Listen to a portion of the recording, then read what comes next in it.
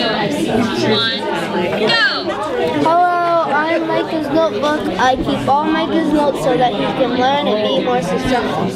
Can you play it? Hello, I'm Micah's notebook. I keep all Micah's notes so that he can learn and be more successful. My students are experts on this, and how cool would it be if, if, if the IU students could hear from a fifth grader, this, this is uh, a tool that I use, this is how it helps me learn, this is why I love it. I was it. gonna say, how do you use this in the classroom? Like, Oh. what lessons or projects did you guys use this for? Um, a lot of times when we're reading a story, so like, So basically it's uh, communication tools, video making tools, and having students creating things using some of the tools that, that they're sharing.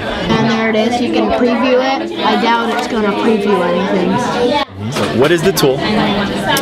Why do you like it? How does it help you learn? Mm-hmm. And so those are the three things that the kids had to practice. Um, they did that for homework. They, we talked about it. We actually had a chance to practice this with um, with we had a, a delegation of Israeli teachers who came to visit our school, and my students did uh, their presentation to the Israeli teachers, um, and then so they were ready when they came. It could be like any subject, like math or social studies. You know, it's 2014, and I'm really not teaching the future, I'm teaching the present. You know, what what the students are, are, are teaching about right now, uh, that mirrors their everyday life. You know, so my, my mission, my goal is I, I want my classroom to be like what the kids' life is. You know, the kids, uh, their, world is is digital media, and so I want I want the classroom to, to reflect that. If that makes sense. You know, I want to reach kids. I want to engage them, and this is a way that um,